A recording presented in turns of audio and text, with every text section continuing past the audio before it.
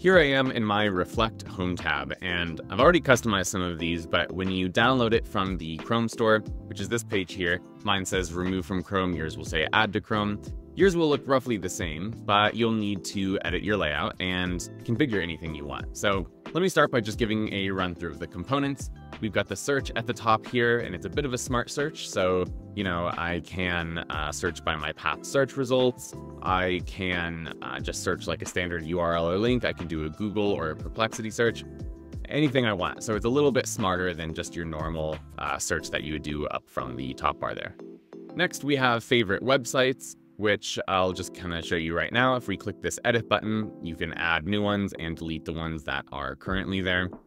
We have a calendar, which is a aggregate calendar view. So maybe I should just stay in edit mode here, that, that button on the right. And I can click into this. Uh, first of all, I can change the width. So, you know, it'll just show more or less depending on which one that I select. And if I click into settings, you can see that I have multiple connected here, and I could add more if I want it and it shows all the events there, or it will show them if you have multiple.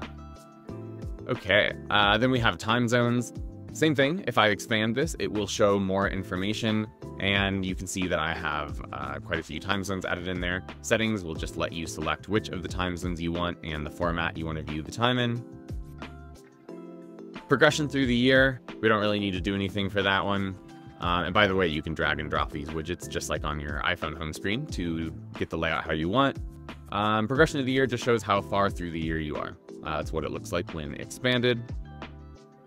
And uh, whoops. Then down below, uh, last visited websites. You don't have to do anything for that. I spent a while uh, logging into my calendars there. That's why these all show the Google account sign in.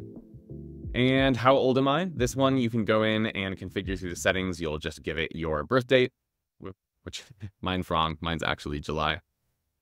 Um, Cool. And then uh, lastly, we have the weather down here. So that will just display your local weather. And as with the other ones, you can shorten it or expand it to show whatever you want.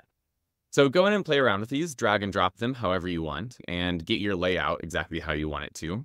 And then you can actually change the design of it. So if I click on the settings down below, I've got the option to go between light and dark, or of course, whatever the system's set to. I can toggle which fonts that I want to give it um, different fonts throughout the whole thing.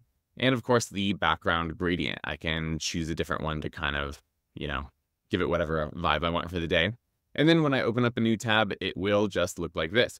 And by the way, if I highlight the command, you can see uh, it shows up some of the shortcuts here. So I can go to each of these websites uh, depending on which of the shortcuts I use, which just makes navigation a lot easier. And by the way, this is very fast. So that's one of the most impressive things about this is how fast it is.